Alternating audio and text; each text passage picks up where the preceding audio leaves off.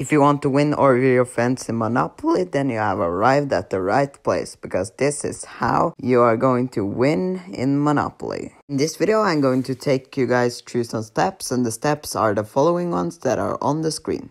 The first step is the odds of dice. The chart that is on the screen right now tells you that 7 or a number close to 7 are most likely to be rolled on 2 dices. This could be very overpowered to predict where your opponents will land. Step number 2 is the cold and hot spots on the Monopoly board. Here you can see a map that uh, describes uh, the hot and cold spots very good. As you can see, the spots um, nearby Go is uh, not that good, but uh, especially the light blue and the orange gates are very hot. The fourth one is what color sets that are the best. I, I have actually mentioned this already, but the orange and the light blue color sets are the best. These two color sets are the best because they're the two that people are most likely to land on. Number 5 is houses and hotels. One thing that is important to know about houses in Monopoly is that houses on the first row after go cost 50 Monopoly money, row 2 costs 100, row 3 costs 150, and row 4 costs 200. Let's see how much it costs to build a hotel. But before you can build a hotel, you need to have four houses, and a hotel costs as much as a house. So with basic math, you can multiply the house cost with 5. So on row 1, it will cost 250, row 2, 500, row 3, 750, and row 4, 1000.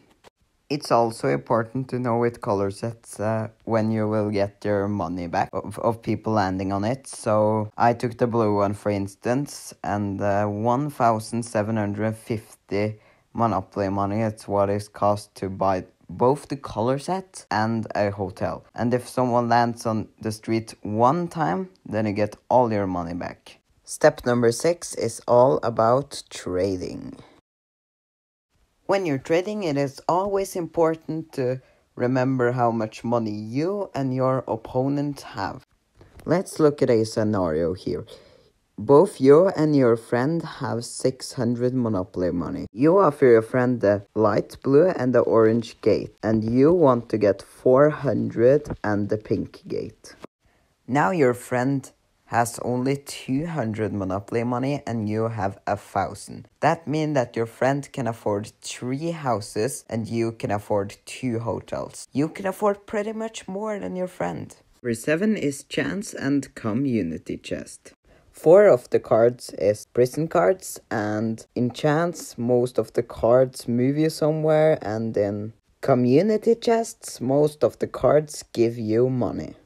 Now you have learned some tips and tricks on how to win Monopoly and now I finally hope that you have a chance to play this game among your friends.